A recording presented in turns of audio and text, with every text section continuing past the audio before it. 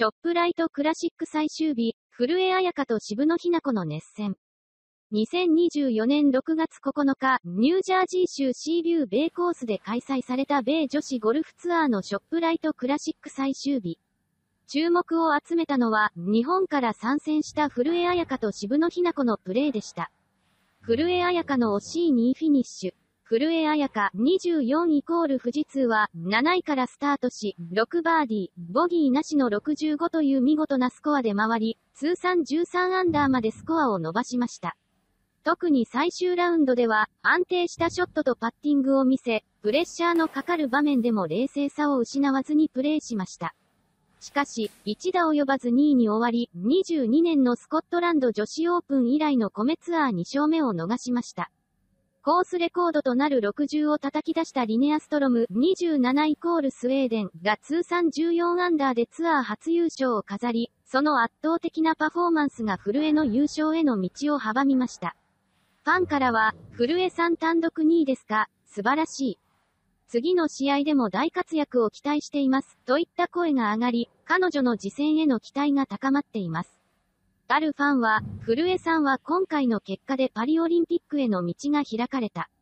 畑岡さんを抜いて2位にランクインし、オリンピック出場に一歩近づいたと、その活躍を称賛しました。渋野日向子の粘り強さと挑戦。渋野日向子25イコールサントリーは27位からスタートし、最終日に5バーディー、3ボギーの69で回り、通算7アンダーとして、ホールアウト時点で暫定17位に順位を上げました。特に強風の中でのプレーは難しく彼女は出入りの激しいゴルフを展開しました。13番までで3バーディー、3ボギーを記録し、16番で1メートルのバーディーパットを沈め、最終18番でもバーディーで締めくくりました。インタビューで渋野日向子は、最後の方はちょっと疲れて、ショットが荒れていたけど、やっぱりグリーン上がもったいない2日間だった。先週からの疲れもちょっと残っているのかなと思ったし、足が重たかったと振り返り、前週の全米女子オープンで2位に入った疲労が残っていた様子を明かしました。ファンからは渋野日向子さん、タヤマネージャー、お疲れ様でした。今週はポアナに翻弄された1週間でしたが、気を切らさずよく我慢しました。最後のバーディは次戦につながるバーディだと思います、といった声が寄せられました。さらに、渋子ちゃん、ドンマイ、ドンマイ、全米の後、上出来だと思います。イメージトレーニングしたら、ゆっくり休んで体調を整えてください。前衛から、ずっと応援していますとの温かいメッセージもありました。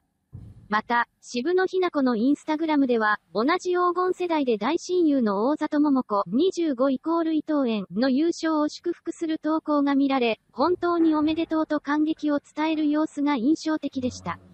渋野日向子と大里は1998年度生まれの黄金世代であり、彼女たちの絆がファンの間でも話題になっています。ファンからのコメントには渋野日向子がブレイクする前からの親友だからね。二人が会うのは久々かな。その場所がセントアンドリュースとは嬉しさ大爆発だろうと彼女たちの再会を楽しみにする声もありました。日本女子ゴルフ界の未来への期待。今回のショップライトクラシックでは、古江彩香と渋野日向子の活躍が日本女子ゴルフ界に新たな希望をもたらしました。特に渋野日向子の粘り強いプレーと古江の安定感は、多くのファンを魅了しました。ファンからは、今年、渋野日向子劇場は面白くなるで。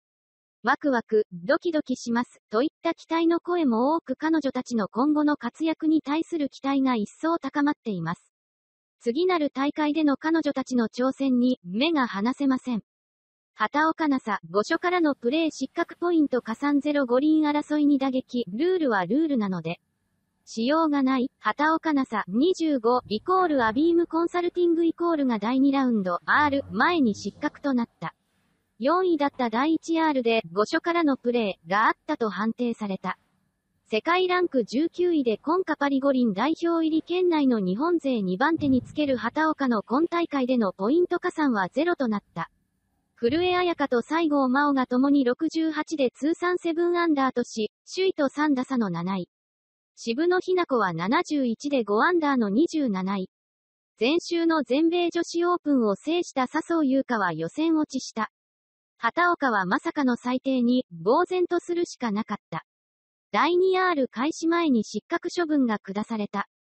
米女子プロゴルフ協会 LPGA によると、6アンダーの4位で終えた前日の第 1R で5所からのプレーにより重大な違反が認められたという。問題となったのは9番。第2打が茂みに入り、球を見つけ出してからアンプレアブルを選択。だが、米テレビ中継局リポーターからの指摘により、球を探す時間が規定の3分を超える、3分25秒を要していたことが映像で確認された。結果的に、紛失級でプレーしたことになった。9番が最終ホールだった畑岡はスコア提出前に誤りを訂正せず、失格が決定。この日朝、ウォーミングアップ中に事実を知らされ、ルールはルールなので、しようがないと話した。17年の ANA インスピレーション最終日に歴史トンプソン、米国がマークした場所とは違うところから再開したと視聴者に指摘された。5所からのプレーとスコア5機で4罰打ちを課され、優勝を逃した。翌18年から視聴者からの指摘でペナルティを与えるルールが廃止されたが、今回は実際に現場にいた人からの指摘で該当しない。パリ五輪選考への影響もある。畑岡は笹生に次ぐ日本勢2番手の世界ランク19位。同22位の古江、同25位の山下と出場枠2をめぐり、2週後まで争う。畑岡は次週の大会には出場しないため、代表決定直前に行われる20日開幕のメジャー、全米女子プロ選手権で悔しさをぶつけるしかない。